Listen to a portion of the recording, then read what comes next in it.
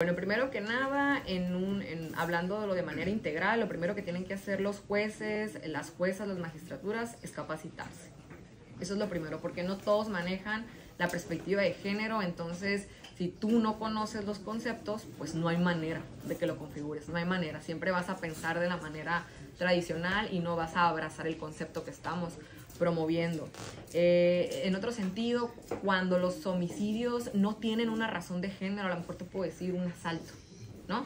Pero si en el asalto eh, hay un análisis de saber que a lo mejor la persona sí, está, sí era involucrada, sí era conocido y lo hizo ver como un asalto, si a lo mejor tuvieron una relación hace mucho, si tienen hijos juntos, si a lo mejor son compañeros de trabajo, entonces ya no son robo.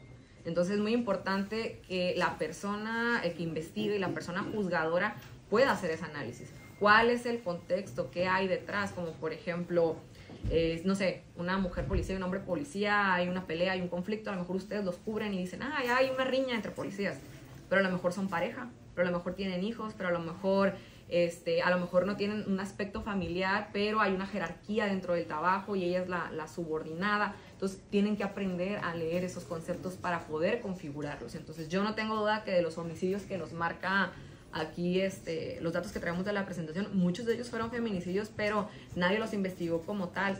Digo, podemos también recordar que no es un tema de feminicidio, pero es una sobreviviente y estuvo a punto de, es Alina.